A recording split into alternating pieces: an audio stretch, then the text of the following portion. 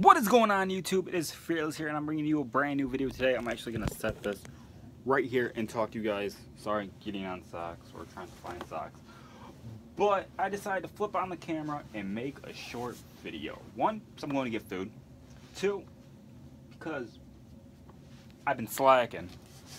And I just need to talk about the content that has been not coming out on my channel that I've basically promised and ignored my own promise to you guys. With 31 or 32 some subscribers and trying to grow and all that, I've officially decided. It's only wait. This sock doesn't feel right. It's probably not my. Probably because it's on the wrong way. No, it's on the right way. Because it's not my sock. That might be it. It might not be my sock. I need my glasses. I don't know what I'm going to eat. So, who knows what this video might entail? Do I got money in my pocket? Yeah, I do. Alright. Um, but with the time-lapse music, if y'all like it, let me know. All the descriptions for the owner who made the songs and all that will be in the description below, or the song. And he's a friend of mine, so hopefully he don't mind if I use it. I don't know. I'm also trying to sell a camera recently, and that's been a struggle and everything. But I don't think you guys ever seen the house. So here's the house. Um, back here is the fridge. And I'm in the kitchen right now. Like the fridge can't fit in the kitchen because like, boom, there's the fridge again. Well, I almost fell. And then this small house. And then we have the spare bedroom, and we got a pet right there. guinea pig. It's afraid of everybody. And when you come here, you got my roommate's room. And then down that way, there's a basement. Probably flooded by now, sadly. Um, speaking of flood, get rid of this. I gotta take out the garbage. It's getting too full. I always take it out though. And I always normally do the dishes too. Is kind of sad.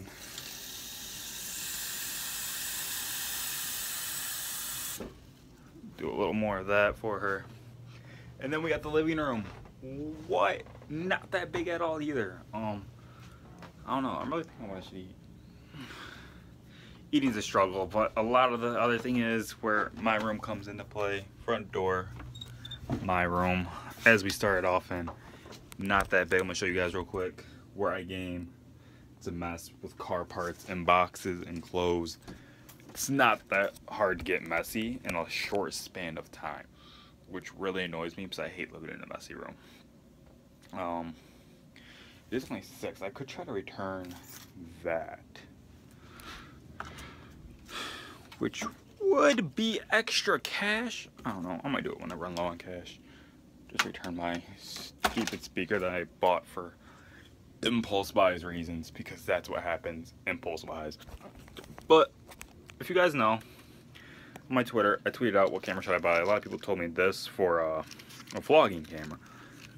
But I recently don't have a laptop, so vlogging camera kind of took the shitter. So, iPhone 7 quality. Let me know what you guys think. Um, I'm to get ready. I'm to hit the road. Hopefully find something enjoyable to eat on my way out. So, time lapse. Okay, we're heading out actually, and I had to make sure I had my keys.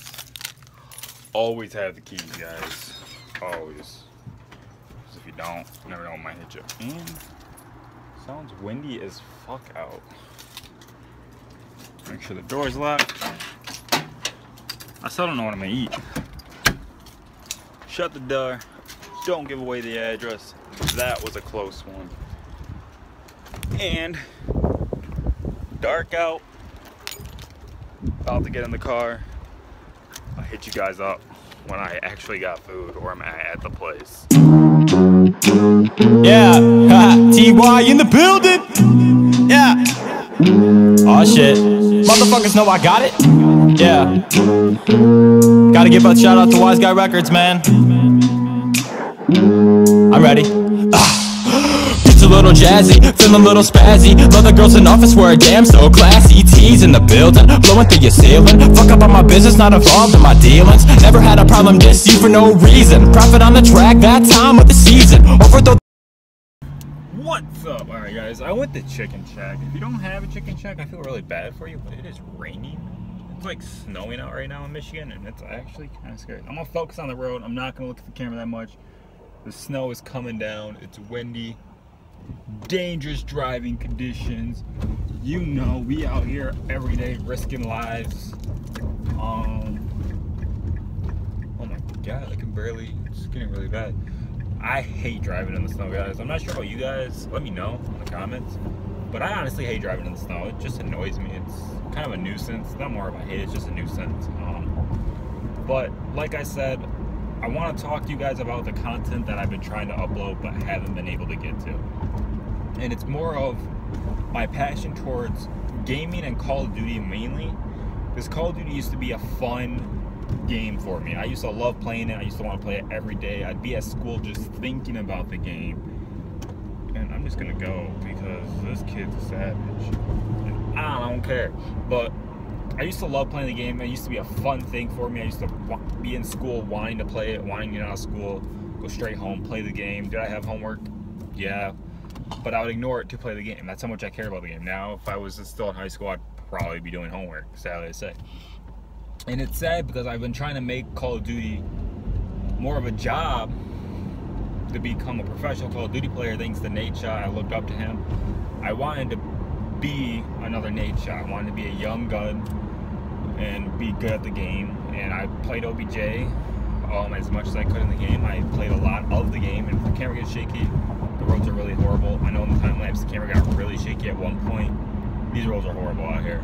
I don't know what they're gonna when they're gonna fix them probably never. But I used to love playing the game, and it became to a point where I don't want to play the game anymore. It hurts me to play the game. It's a, more of a.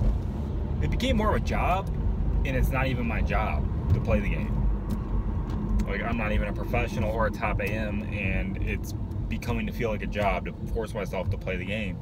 And I've been already working 56 plus hours a week at my job I work now to pay my bills and all that and that's just exhausting as well with so much stress at that job. And then I come home and I try to play Call of Duty and then I'm stressing on Call of Duty so I'm losing I'm not playing well. It's aggravating. Um, Modern Warfare Remastered it's an okay game. It, they ruined a lot of it because of adding the supply drops the weapons and all that. I get they're trying to stay fresh with it but they're ruining the franchise in general with all the DLC weapons, they would like to call them, the supply drop weapons. As putting them in the games, you're killing the franchise of the game because some people that look forward to MWR we're looking forward to the old feel of Call of Duty again. Boots on the ground. Two cameras getting shaky, I can tell, but boots on the ground, it was all nice, it was all smooth, it was just straightforward. You know what you gotta do, do it. Um, but it became more of they tweaked the game a little bit where it's more positioning. It was like that in the old days, but it's more of a positioning game than it was back in the past. Back in the past, you were used to be able to legitly gun and run if you wanted to. You could run around, gun people real quick, boom, you'd be an easy win. Now with search and destroy, it's more of how well can you position yourself before the enemy team.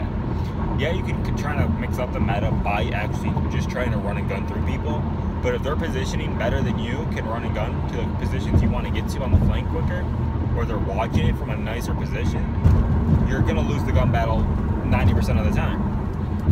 And it's been coming like that with most Call of. With the jetpack Call of they kind of killed the positioning. There's still more position you can take on it, but more people can jump around, get out of the position, line of sight, and get around you and wall run, and then boom, you're dead. Which killed the Call of Duty franchise completely. I'm just gonna go through this because fuck it. Hopefully, no one's seen that. Um, because it's just the fact that Call of Duty has been a good game, boots on the ground. Ghost, a lot of people say they hated Ghost. I want to disagree. I actually loved Ghost as a competitive game. As a public multiplayer game, I hated it. Absolutely horrible. With Clan Wars, they had way too many tryhards, way too many things going on in that game, and not enough weapons were balanced in public play around to where people were just using certain weapons and there were so many cheap things you could use in that game with how many perks there were and how many perks you could set up as a certain way to have them set up to be totally invincible. Um, LMG silence with thermal, a couple good perks to hide you from stuff in the air. You'll dominate almost every time. I dropped, uh, I think, a nuke on that or a chem or something like that. I can't remember. I know I dropped a high killing streak game before I was into YouTube. But with the game the way it's going, if it keeps on going this path that they're taking for it with these supply drops and jetpacks, which rumor has the next Call of Duty is going to be boots on the ground. Hopefully it is, and hopefully they don't add supply drops. Well, we all know they will because that's what they are are for. They're striving for this money and they're desperate for it. And they know people will put the money into the game, and that's the problem. If people stop paying for these things and these supply drops and they just completely ignore it, say, I don't care, I'll just earn a deal fashioned way, I'll play the game, I'll get the free stuff, and I'll lock the supply drops that way, it's gonna sway them off of it, I feel, because no one's spending money for it. But the game's been dying for me, and it's sad to say I wasted most of my social life playing these games, Call of Duty. And Black Ops 2 was an amazing game, I loved it to death. Um, best game, best Call of Duty in my eyes out there. Boom, hands down. That's my favorite Call of Duty right there. Black Ops 2 League play was the best. But it's just the fact that they went a whole new 180 direction with it and they're killing the franchise and I wasted most of my social life trying to make this my job, trying to be on the main stage.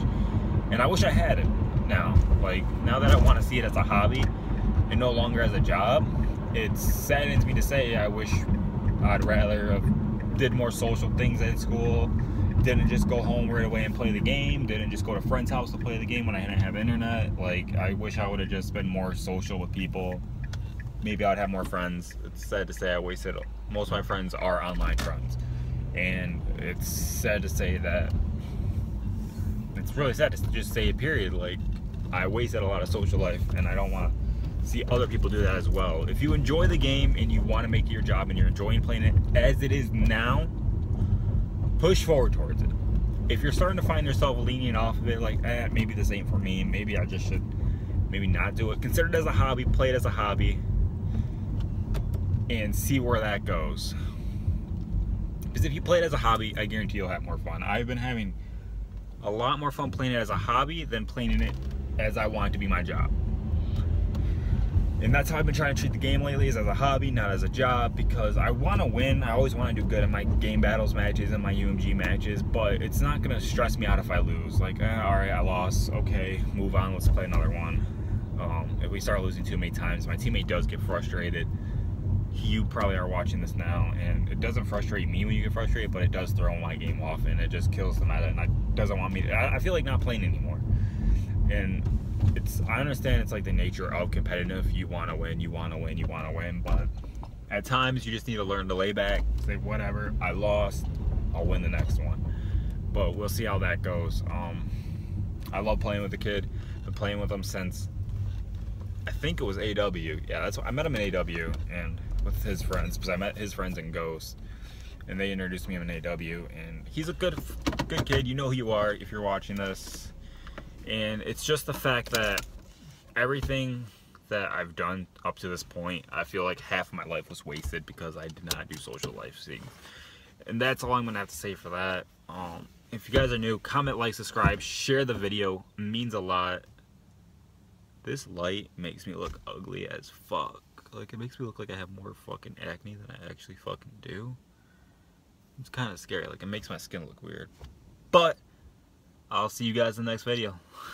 Alright, out. Oh, also, let me know how you like the new intro.